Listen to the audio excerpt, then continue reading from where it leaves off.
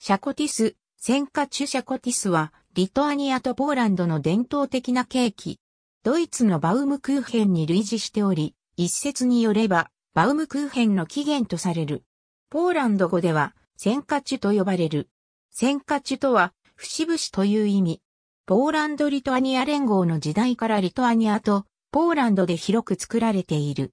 元はリトアニア南東部のズーキア地方、ないしポーランド北東部のポドラシェ地方で古くから食べられていたもので、リトアニア民族を代表する菓子であるとともに、ポーランドのポドラシェ地方を代表する郷土菓子でもある。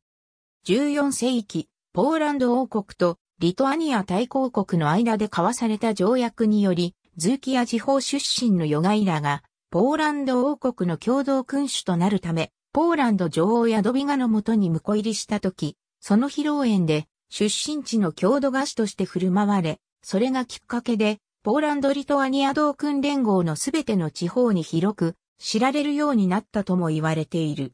この時、この菓子を作った職人はその褒美としてもらった指輪で恋人に求婚してその心を射止めたため、特に結婚式では欠かせない菓子となっている。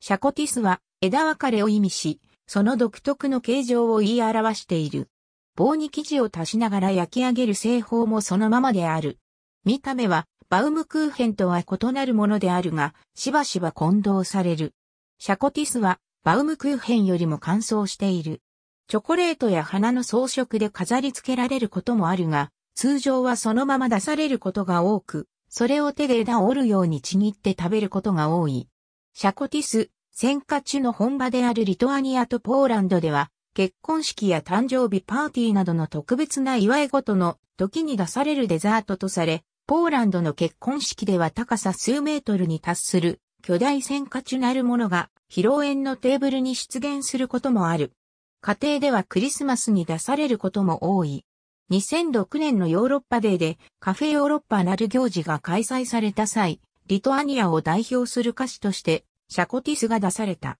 ありがとうございます。